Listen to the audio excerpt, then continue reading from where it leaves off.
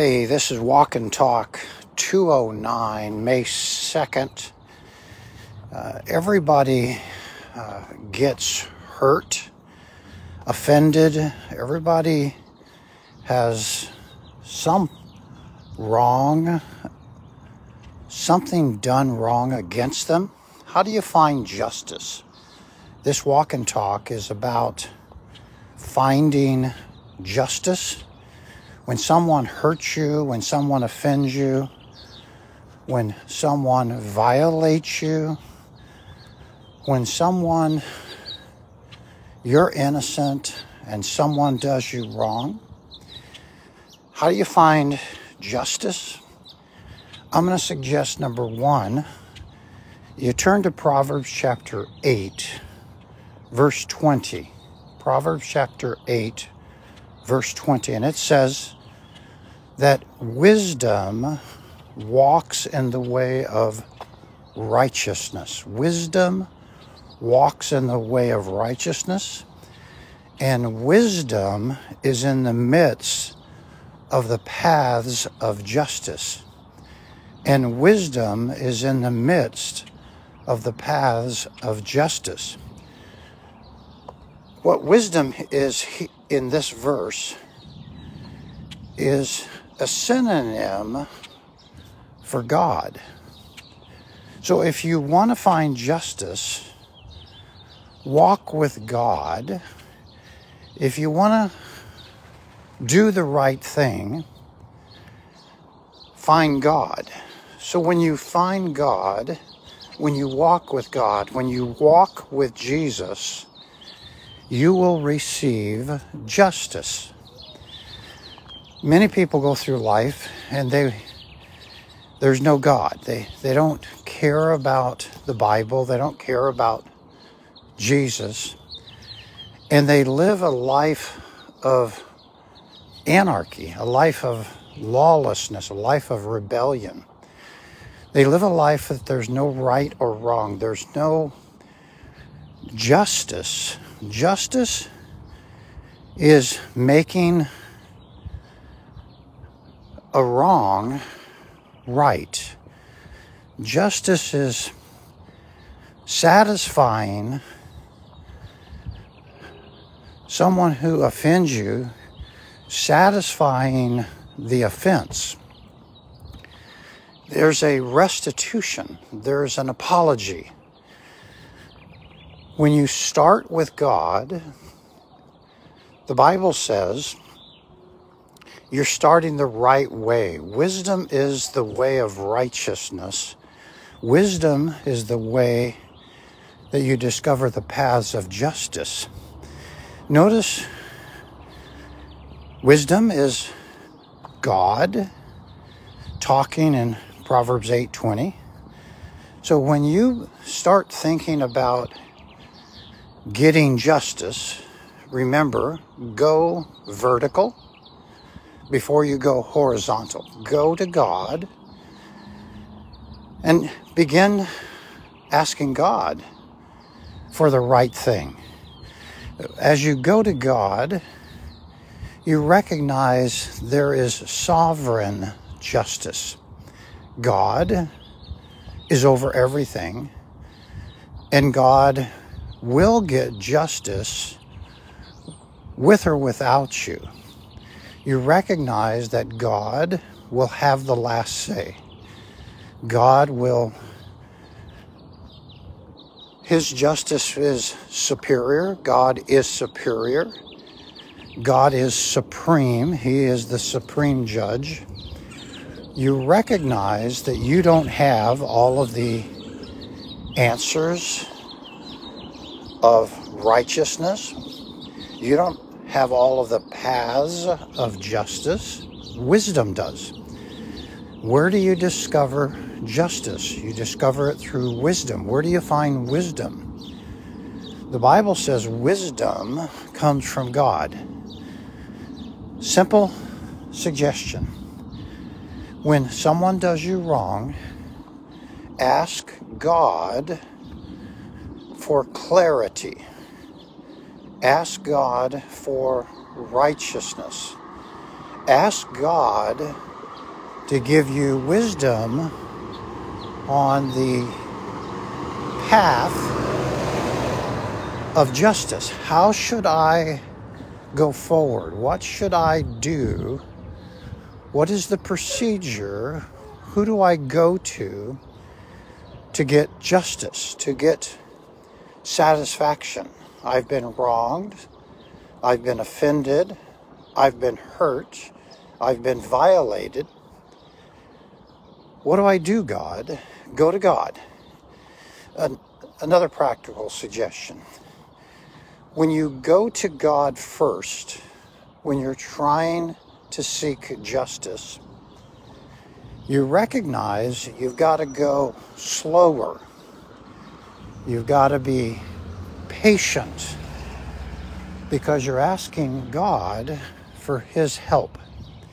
That slows you down so the simple suggestion is as you go slow, find clarity, not emotions. When you discover the justice of God, you find clarity, but it slows you down to where you're not reacting. Anyone who reacts emotionally typically becomes angry, irrational. They're so upset, they're unable to see clearly. So, going to God slows you down, calms you down. You recognize that God is sovereign, God is supreme, God's going to get justice even in the worst case scenario, you don't personally find justice on earth. God sees every wrong action. God sees every violation. God sees every law breaker. And God, who is sovereign and holy, brings about correction, the best correction, the the best righteousness, the quickest path of justice, you discover that you have blind spots. You discover that you can't understand it all. Slow down. Let your emotions back off. Start to think rational. Keep asking God for his justice. Another practical suggestion the Bible says that revenge, vengeance, belongs to God. So as you move forward seeking to do the right thing to find justice, remember that revenge or getting even has no wisdom from God.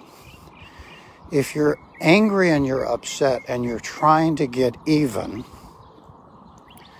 you're trying to force the hand of justice, you've ignored God.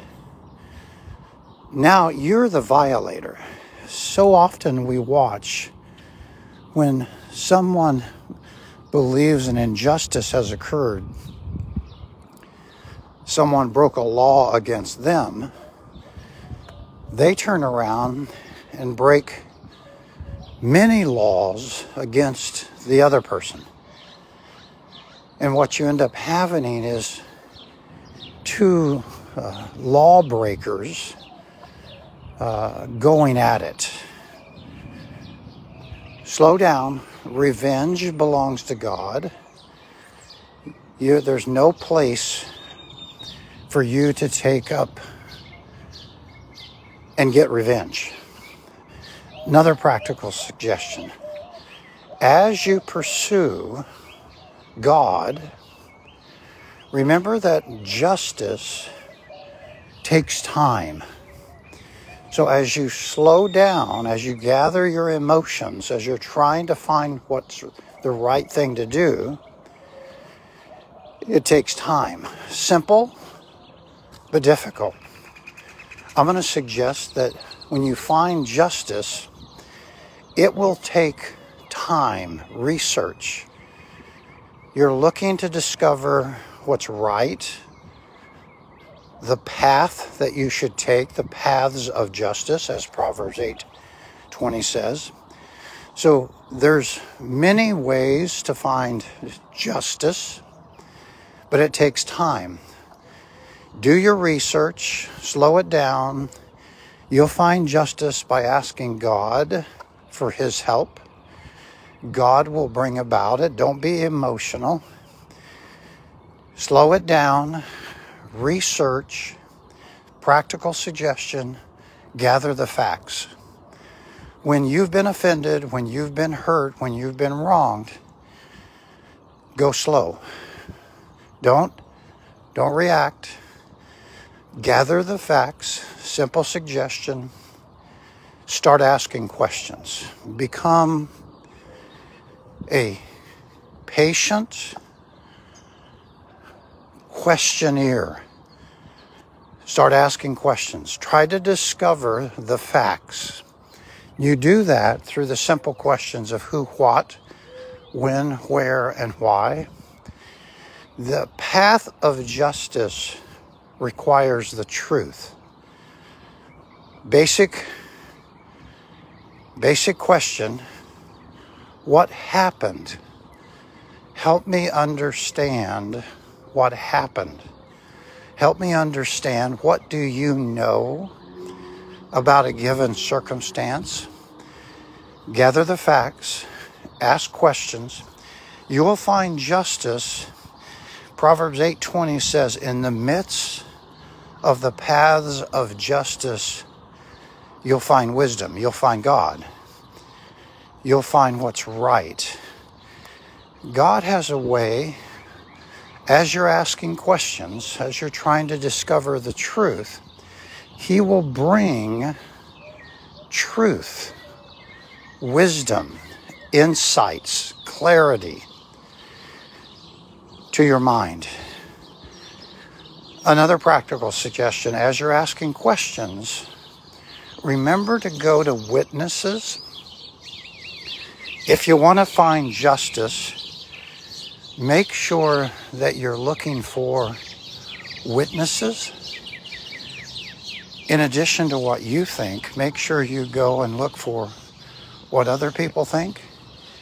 It is interesting uh, how people overlook the witnesses of others. If you want to find justice, don't be afraid to say, hey, what do you understand about such and such? What do you know about such and such?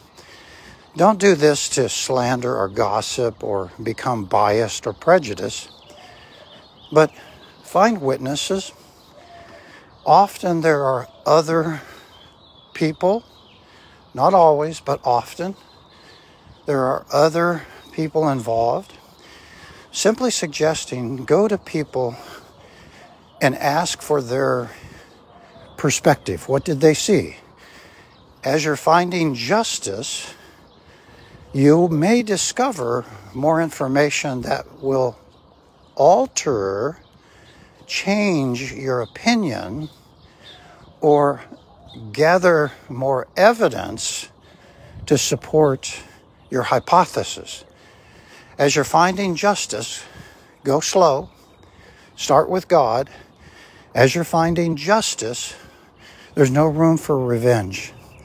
As you're finding justice, remember, do your research, talk to witnesses, ask the questions that will help you gather the information.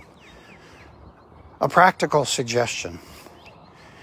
Usually, justice is not what you think it is at the beginning of your research.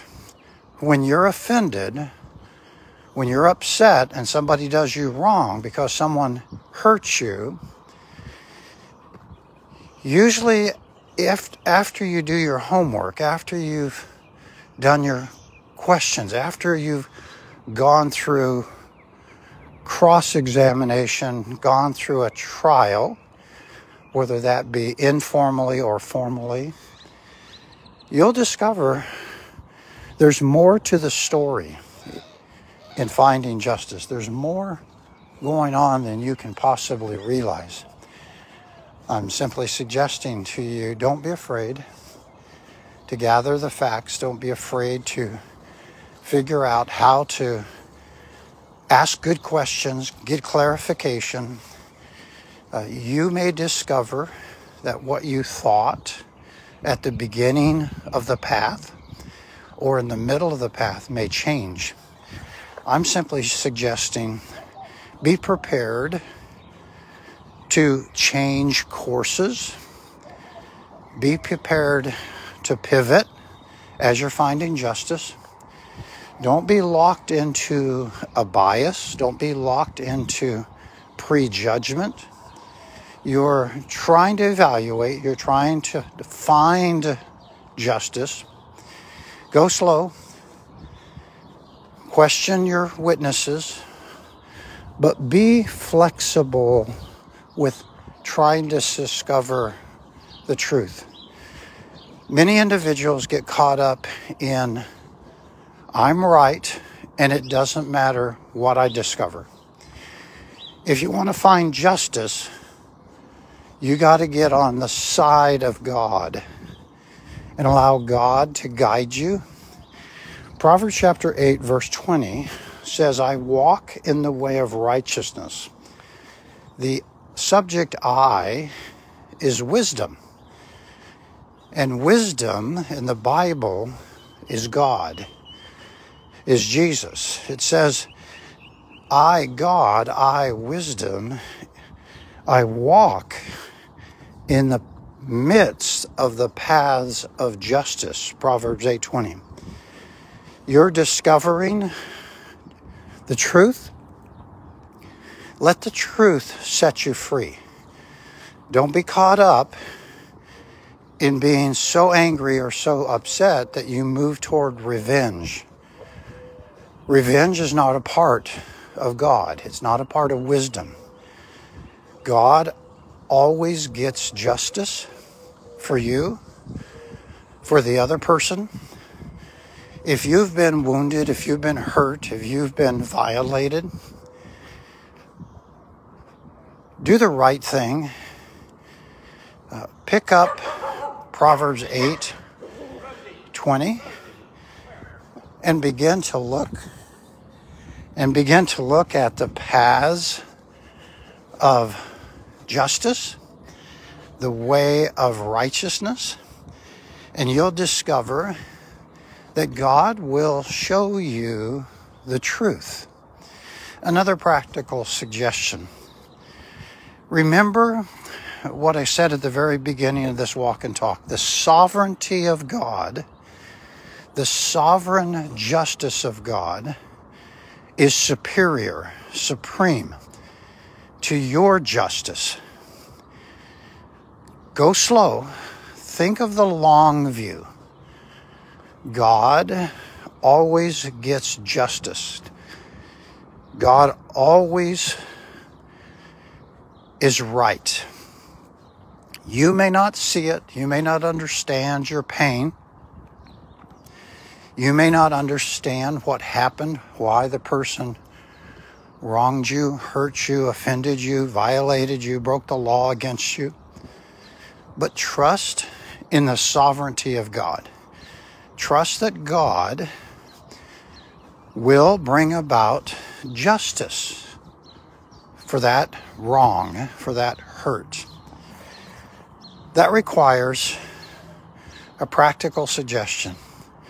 Increase your faith, increase your capacity to go the long distance with God.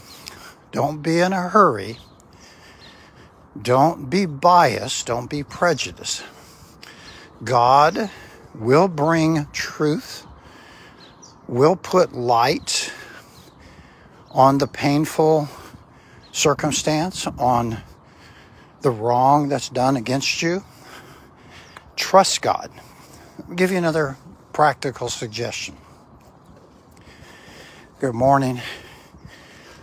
Many times uh, when when a wrong is committed,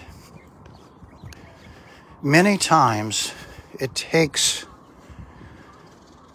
much time for the truth to come out. When you're seeking justice, when you're trying to find justice, often the truth comes out slowly, not quick. You need to have great faith, trust God, be patient, go slow, ask the questions, and often the truth trickles out as opposed to jumps out. God is at work on your behalf when you cannot possibly understand. God is sovereign, He's holy, he sees everything. We would like for justice to occur quick. I'm simply saying it doesn't occur, occur, quick. Often it's slow, and you need to be slow because truth trickles out slow.